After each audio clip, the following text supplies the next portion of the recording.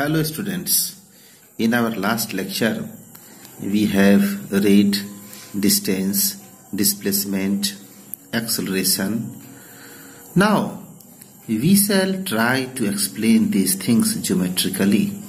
So with the help of graphs we shall represent motion. In this way the most important thing is that first of all we shall try to trace distance time graph distance time graph distance time graph for distance time graph we take time on x-axis. Suppose this is x-axis. And distance on y-axis. This is our y-axis. So this is x-axis this is y-axis this is origin. Now according to our convenience we choose our scale. See what is the right way to choose school, a, a scale.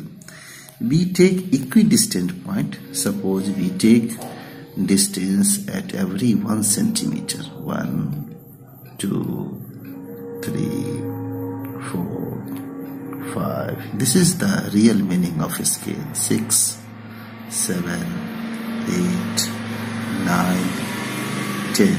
Again on y-axis we choose equidistant points. So we put our zero in here and mark equidistant points maintaining distance 1 centimeter 1 2 3 4 5 and so on Suppose we have to represent motion for 5 seconds or 10 seconds. So we take on x-axis time and we write time in second.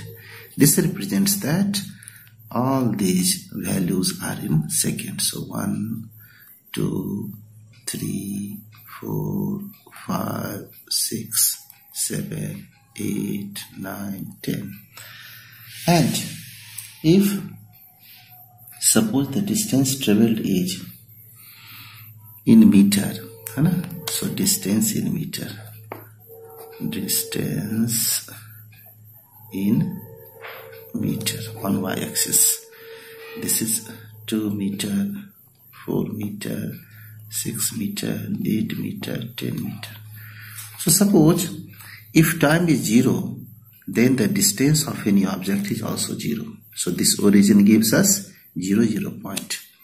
After 1 second, if the distance of the object is 2 meter, so we find this point. After 2 seconds, the distance of the object is 4 meter. From any fixed point, that is from reference point, so we find this point.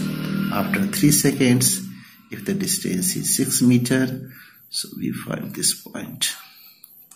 After 4 seconds, if the distance is. So what we see here? We see that if we join all these points, then what we find? We find a straight line. Nearly a straight line.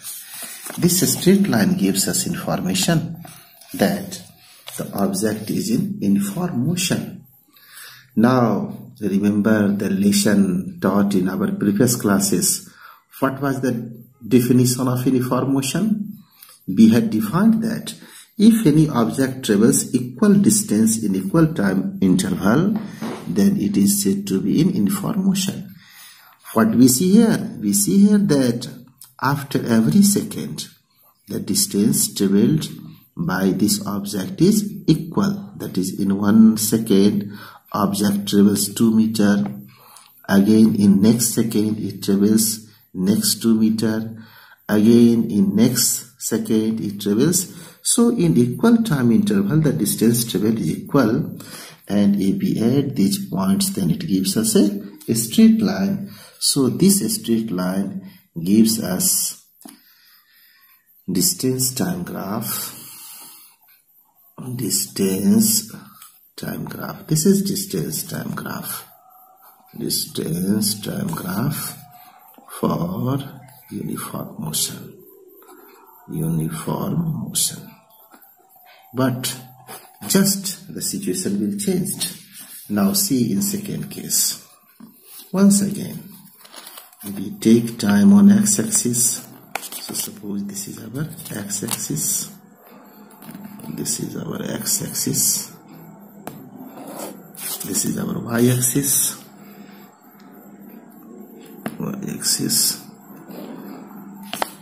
X y origin. We take the same scale. That is 1 2 3 4 5 6 7 so on. And we write on x-axis time in second as s stands for second. And one on y-axis we take distance distance in meter. So suppose on time scale we have one two three four five six seven. And on y-axis that is one two three four five six. Our scale is now. Now I change this scale and I will take 5 10 15 20 25 30 so on.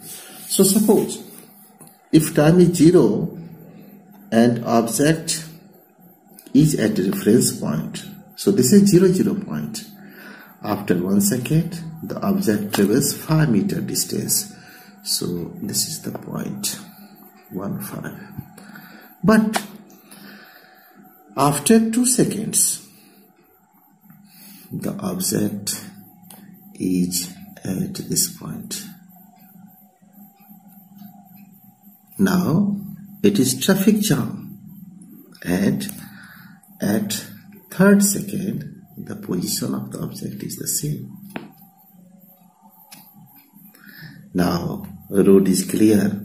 Driver accelerates the vehicle and suddenly in fourth second, the object reaches to a distance 30 meter. So now what is the nature of this graph? The nature of this graph, see. We join all these points with our free hand. So this is the movement of this graph.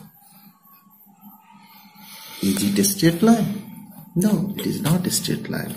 So if distance time graph is not a straight line then it is called this is uh, again this is distance time graph distance time graph for non-uniform motion non-uniform motion what we had read and what we have learned we have already learned in uniform and non-uniform motion.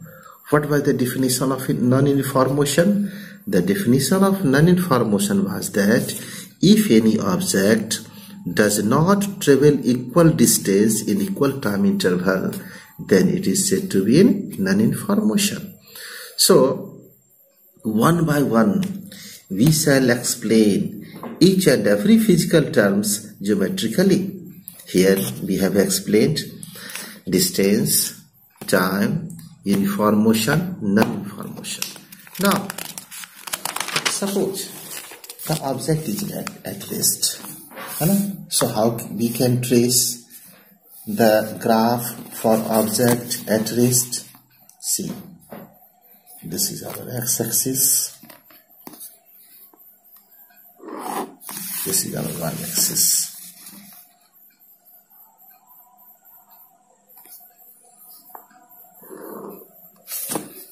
x-axis, y-axis, origin. Once again, we take time in second. Time may be taken in minute. It may be taken in hour. According to our situation, it, it may change. Our scale may change from situation to situation according to the requirement of our question. And we take distance here distance in meter on y-axis suppose this is the scale on time axis one two three four five one two three four five. That is one second two second three seconds four seconds five seconds and so on. And on y-axis we take a distance of 10 meter 20 meter 30 meter 40 meters 50 meters so on. Suppose you are standing at any point 20 meter or 30 meter from any bus stop.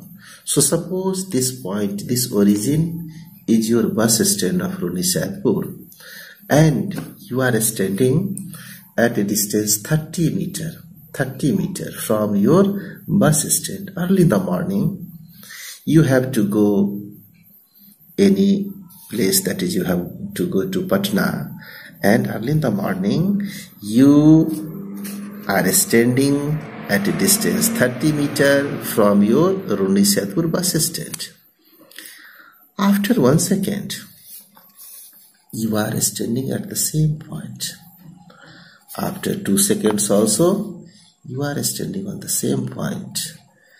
Still you are waiting for the bus. After three seconds, again your position is the same. After four seconds, again you are at the same position. Now, what is the situation? You talk to some persons and they say you that today it is Bihar Bandh so there is not any facility of us today. So what will be the nature of graph here? See, this is the nature of graph. If we join all these points, once again we find a straight line. But this straight line is parallel to time axis. What we see in our first lecture, we had read what is the meaning of rest. How we had defined it? we had defined it that if any object does not change its position, see here, the position is fixed. That is from reference point, time is going on, but the distance of that person is fixed. It is always 30 meter. So if any object does not change its position with respect to its surrounding with time, then it is said to be at rest. So this is distance time graph distance time graph for object at rest there are so many different examples by which we can explain our topics and now the Main thing is that we shall explain every physical quantities starting from rest, motion, distance, displacement, speed, velocity, acceleration with the help of graphs. But the most important thing is that how much you learn anything to finish syllabus is not our motto. So, today I am concluding my lesson and I give you lesson to revise these three graphs. So today's homework is revise and learn graphical representation of motion and redraw these three graphs. Thank you. Thank you very much.